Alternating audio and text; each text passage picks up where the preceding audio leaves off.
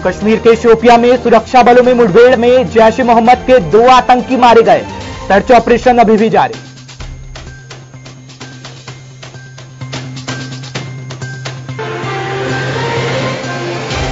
भारत की air strike से बोखलाए पाकिस्तान ने एलओसी पर की गोलीबारी। सीमावर्ती इलाकों में पाकिस्तान से गोलीबारी लगातार जारी।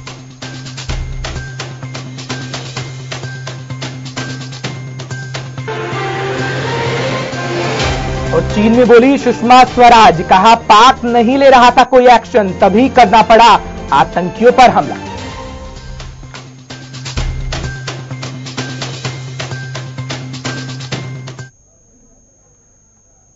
नमस्कार सुबह के साढ़े दस बज चुके हैं। आपका इस बुलेटिन में स्वागत है। मैं हूँ आपके साथ हर्ष भारद्वाज। तो चलिए, शुरुआत करते हैं बुलेटिन की, लेकिन इस वक्त की बड़ी खबर से आपको रूबरू करवा देते हैं। दरअसल, जम्मू कश्मीर के शोपिया में इस वक्त एनकाउंटर चल रहा है और इस वक्त की बड़ी खबर सामने आ रही है कि सेना ने दो आतंकवादियों को मार गिराया है। इस वक्त की बड़ी खबर से हम आपको रूबरू करवा रहे हैं। जम्मू कश्मीर के शोपिया में जैश ए मोहम्मद के दो आतंकवादियों का काम तमाम कर दिया गया है। जम्मू कश्मीर के शोपियाँ से इस वक्त की बड़ी खबर, जहाँ पर दो आतंकवादी को मार गिराया गया। तीन से चार आतंकवादियों के छिपे होने की सूचना के आधार पर सुरक्षा बलों ने सर्च ऑपरेशन चलाया है। सुरक्षा बलों ने कई आतंकियों को अभी फ़िलहाल घेर रखा है। खबर यह सामने आ रही है कि दो आतंकवादी इस एनकाउंटर में मार गिराए गए हैं। जम्मू कश्मीर के शोपिया में इस वक्त मुठभेड़ चल रही है। सेना और आतंकियों के बीच जिसमें जैश ए मोहम्मद के दो आतंकवादियों का काम तमाम किया जा चुका है। सर्च ऑपरेशन अभी भी लगातार जारी है। तो सोपिया में इस वक्त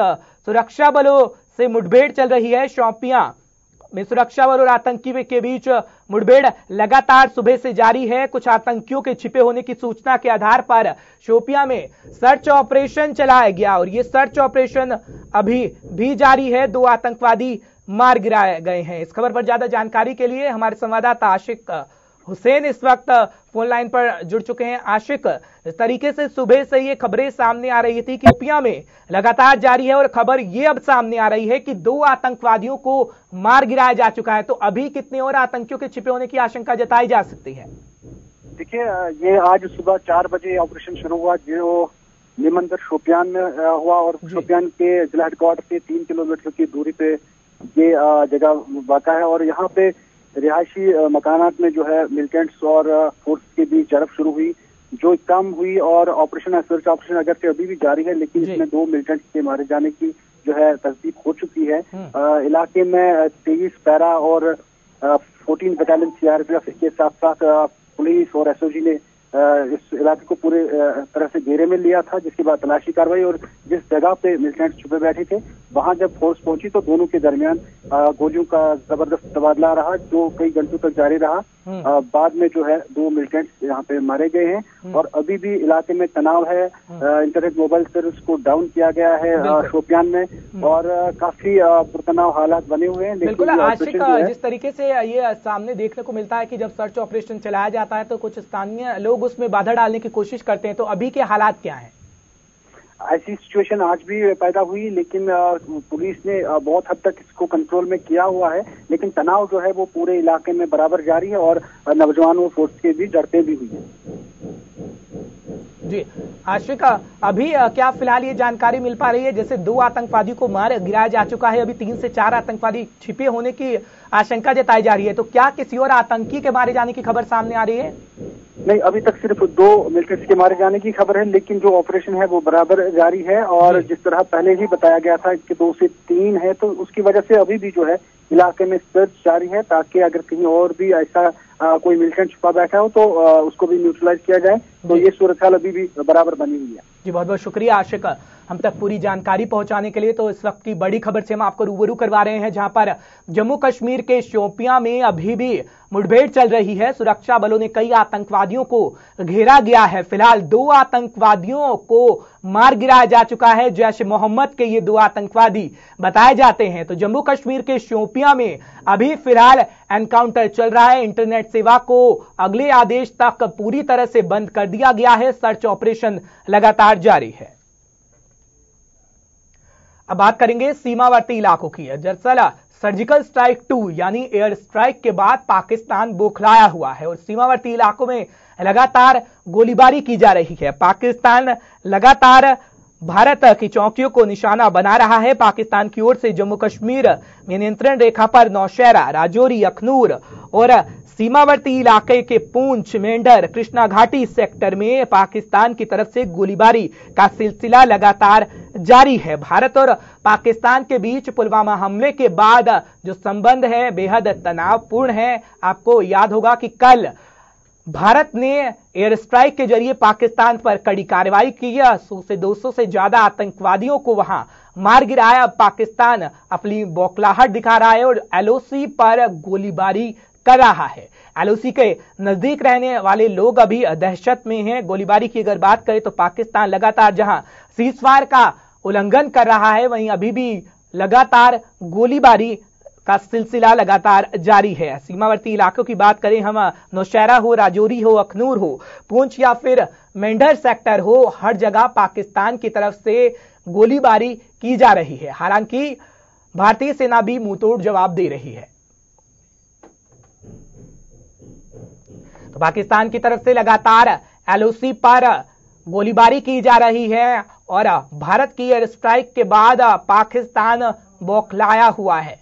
तो कल भी पाकिस्तान की तरफ़ से बयानात आए हैं और अगर भारत की बात करें तो भारत ये लगातार कह रहा है कि पाकिस्तान अपने पालतू आतंकवादियों पर शिकंजा कसे, नहीं तो भारत बड़ी कार्रवाई कर सकता है। इसको लेकर अब पाकिस्तान लगातार बौखलाहट में हो सीमा पर लगातार गोलीबारी का सिलसिला जारी है। सीजफायर का उल्लंघन पाकिस्तान लगातार कर रहा है। अगर सीमावर्ती इलाकों की बात कर ली जाए तो सीमावर्ती इलाके के लोग अभी दहशत के माहौल में हैं। हम हर सीमावर्ती इलाके का हाल आपको बताएँगे। कुछ देर में हमारे रिपोर्टर अलग अलग जगह से हमारे साथ जुड़ेंगे और बताएँगे कि सीमावर्ती इलाकों का भी हाल क्या है, कैसी तनाव की स्थिति वहाँ पर बनी हुई है। कुछ ही देर में हम आपको बताएँगे, लेकिन अभी पाकिस्तान लगातार गोलीबारी कर रहा है।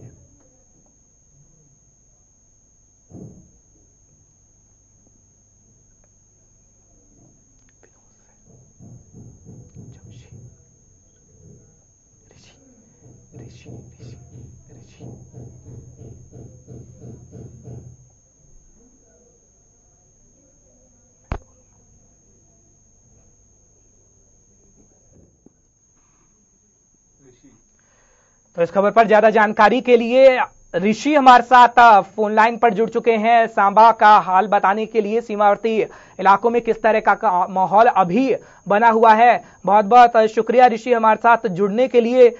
इस वक्त सीमावर्ती इलाकों का हाल क्या है? क्योंकि एयर स्ट्राइक के बाद पाकिस्तान बौखलाया हुआ है और लगातार गोलीबारी की जा रही है। अभी वहाँ के हालात कैसे बने हुए हैं?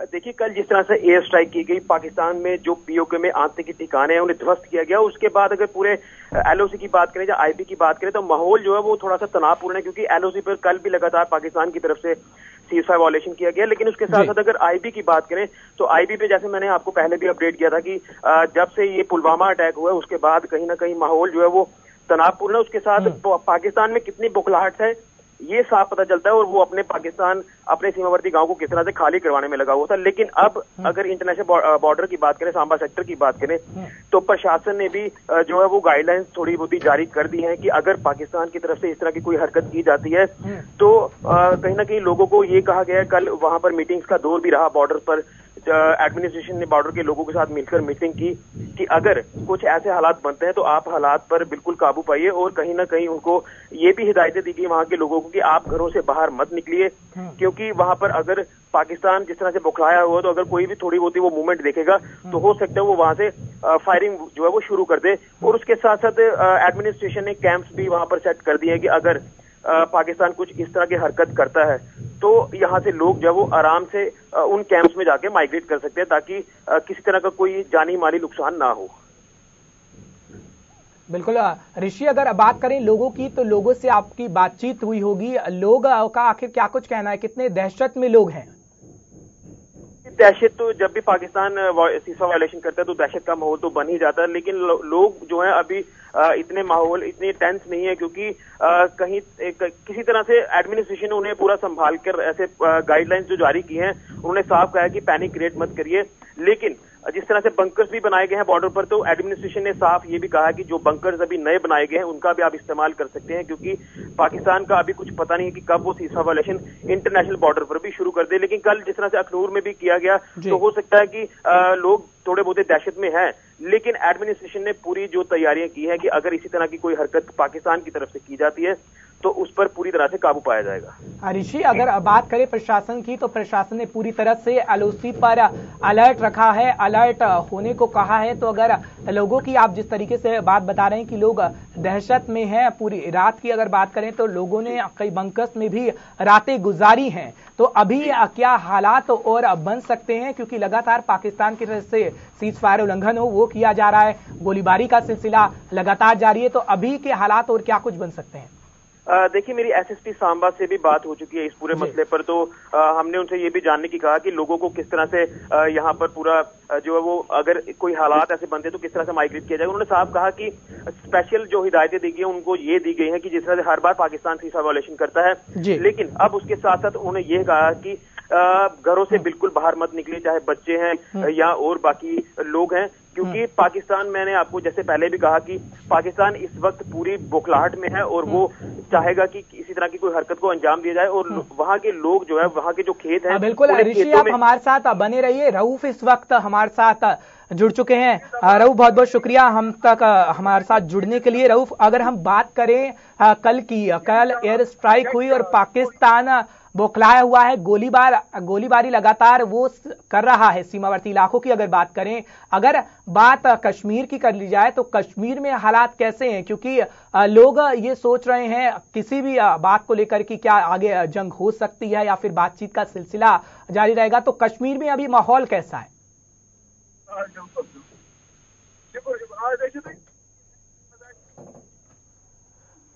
तो तकनीकी खराबी के कारण किसी दिक्कत की वजह से अभी रऊफ से हमारा संपर्क नहीं हो पा रहा है। हम दोबारा रऊफ से भी जुड़ने की कोशिश करेंगे जमशेद मलिक से भी हम थोड़ी देर में जुड़ने की कोशिश करेंगे। हमारे साथ ऋषि बने हुए हैं। ऋषि हम बात कर रहे थे पाकिस्तान की, क्योंकि पाकिस्तान लगातार गोलीबारी कर रहा है। हम लोगों की बात कर रहे थे कि लोगों में दहशत का माहौल है। अगर लोगों को सुना जाए तो लोगों का यही कहना है, कल की एयर स्ट्राइक की अगर बात करें तो सीमावर्ती इलाकों के लोग कहते हैं कि जो एयर स्ट्राइक थी वो सुबह सुबह उसकी कार्रवाई हुई थी, क्योंकि लोगों ने सुबह सुबह सुना था और लोग दहशत में थे कि जंग छिड़ गई है, ऐसा उन्हें लगा।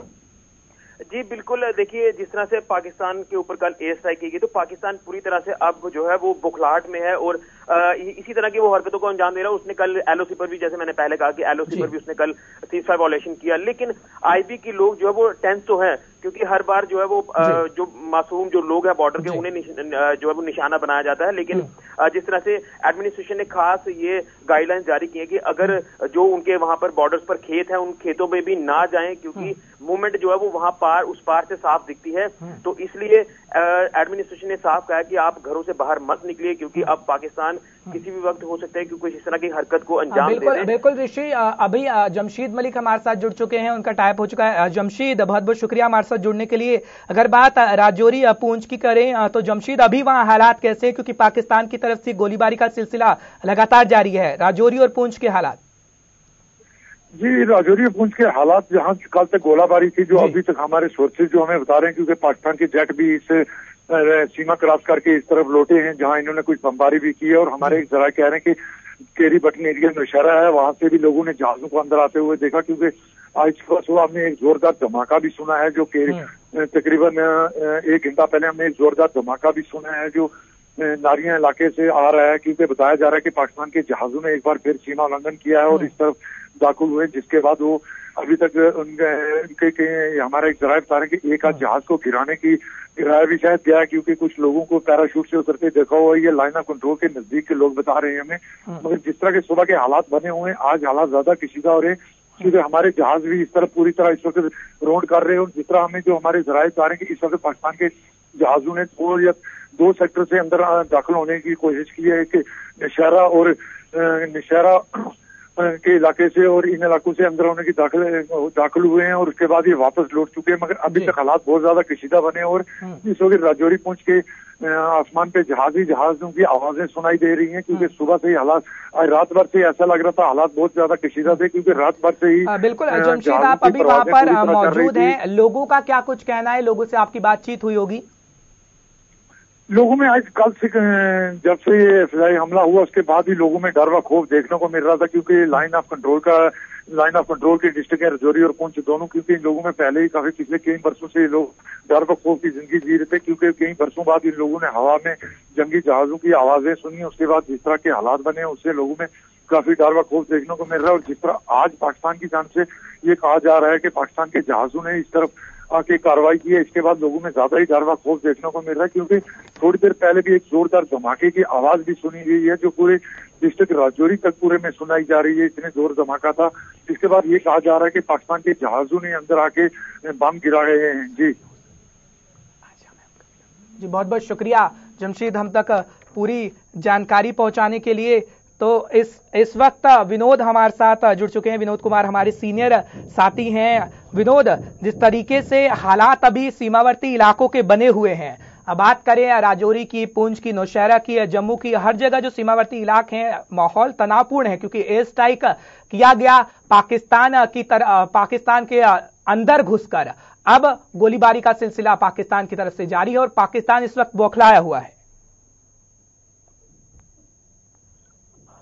जी हर्ष आपकी आवाज़ कट रही है। विनोद मैं ये आप तक हमारी आवाज़ पहुँच पा रही है?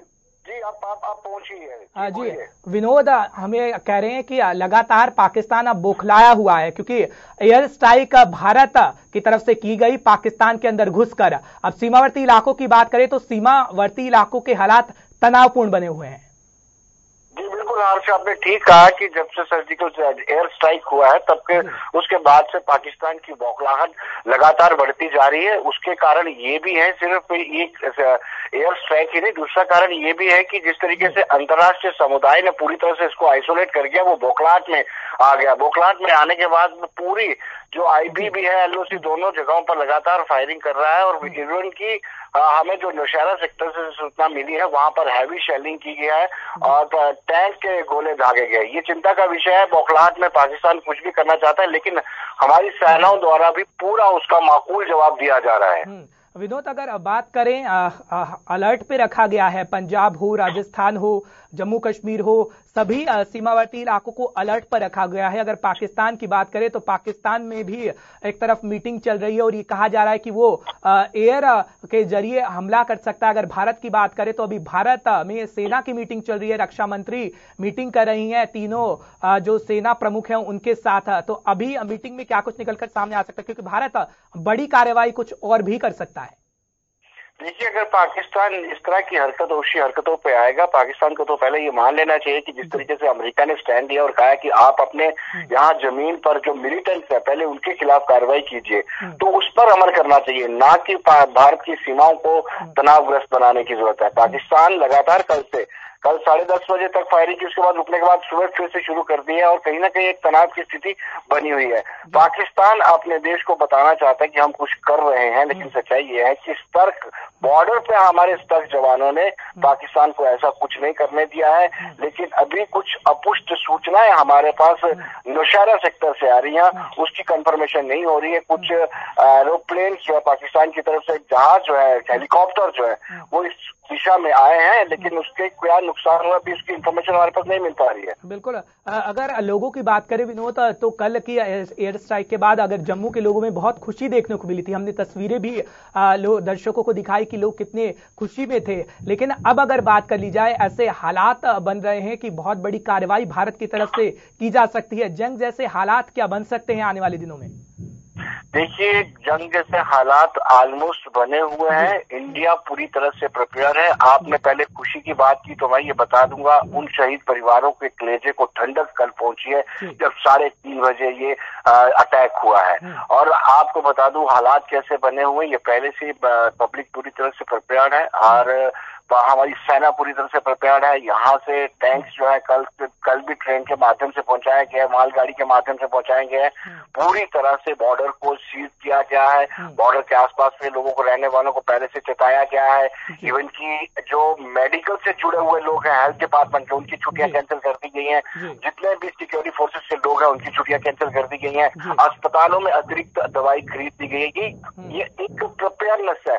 पहले से तैयारी की गई है किसी भी हालात को देखते हुए। लेकिन ये नहीं है कि ऐसे इसको हम हाइप देके लोगों में पैनिक क्रिएट करें ऐसी बात नहीं है। लेकिन भारत सरकार या भारत की सेना भारत के सुरक्षा बल पूरी तरह से तैयार है। वो चाहते हैं कि अगर पाकिस्तान किसी तरह की हरकत करता है उसको दोबारा से मुँह जवाब दिया जाएगा। जी बहुत बहुत शुक्रिया। विनोद कुमार हम तक पूरी जानकारी पहुँचाने के लिए। तो हमारे सीनियर साथी जिस तरीके से बता रहे थे कि अभी सीमावर्ती इलाके में हालात तनावपूर्ण है और लगातार पाकिस्तान की तरफ़ से सीजफायर उल्लंघन किया जा रहा है, गोलीबारी की जा रही है, लेकिन भारतीय सेना हर तरह से तैयार है, जहाँ भारतीय सेना पाकिस्तान को मुँह तोड़ जवाब भी दे रही है। वही खबर यह भी सामने आ रही है कि पाकिस्तान की चौकियों को भी निशाना बनाया गया है, पाकिस्तान की चौकियों को भी ध्वस्त किया है भारत ने, क्योंकि पाकिस्तान लगातार एलओसी पर गोलीबारी कर रहा है, जिसका भारतीय सेना लगातार करारा जवाब दे रही है। पाँच चौकियों को पाकिस्तान की चौकियों को भारत ने निशाना बनाया और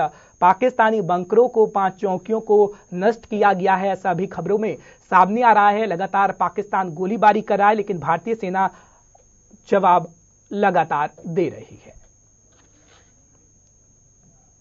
अब बात कर लेते हैं सुषमा स्वराज की, क्योंकि सुषमा स्वराज जो विदेश मंत्री हैं, वो चीन के दौरे पर हैं और उन्होंने वहाँ पर भी पाकिस्तान के खिलाफ बोला। उन्होंने कहा कि पाकिस्तान अपने आतंकवादियों को नकेल नहीं कस रहा है और भारत की ओर से पीओके में जैश ए मोहम्मद के आतंकी ठिकानों पर एयर स्ट्राइक करने के बाद सुषमा स्वराज ने यह भी कहा कि लगातार पाकिस्तान ऐसी हरकतें कर रहा है जिससे भारत को नुकसान हो। पाकिस्तान लगातार आतंकी संगठनों को पना दे रहा है लेकिन वो लगातार इसको नकारता रहता है। इसी बीच हमें खबरें मिली हैं कि जैश ए मोहम्मद भारत में और और आतंकी हमले करवाने की फिराक में है। ऐसा सुषमा स्वराज ने अभी चीन में कहा है जिसके बाद भारत सरकार ने उसके खिलाफ कार्रवाई करने का फैसला किया है। ऐसा सुषमा स्वराज ने कहा, इस तरह से लक्ष्य निर्धारित किया गया और आम लोगों को कोई नुकसान ना पहुँचे।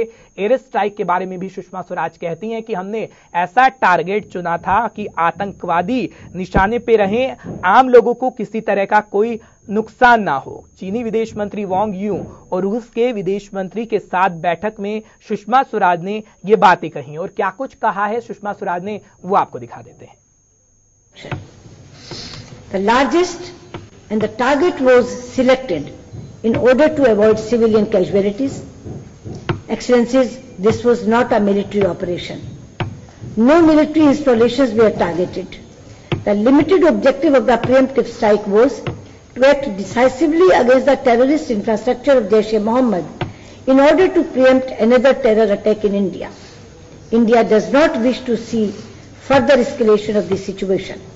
India will continue to act with responsibility and restraint. Excellencies, in our discussions today, I look forward to having productive exchanges with you on other important issues such as climate change, reformed multilateralism, RIC cooperation under the framework of international organizations, and international hotspot issues. I believe the Wuchen meeting of RIC will positively contribute to the ongoing global discussion on a host of issues. Thank you. तो एक बार फिर हम आपको बताते चले कि पाकिस्तान अभी भी लगातार गोलीबारी कर रहा है। इस वक्त खबर आ रही है कि पाकिस्तान की छह चौकियों को, यानी बंकर्स को, भारतीय सेना ने खत्म किया है, नुकसान पहुँचाया गया है। लगातार पाकिस्तानी गोलीबारी कर रहा है, लेकिन भारत लगातार पाकिस्तान को हर कार्रवाई का जवाब दे रहा है। बहरहाल, इस वक्त के बुलेटिन में बस इतना ही। देश और दुनिया की तमाम खबरों के लिए आप देखते रहिए गुलिस्तान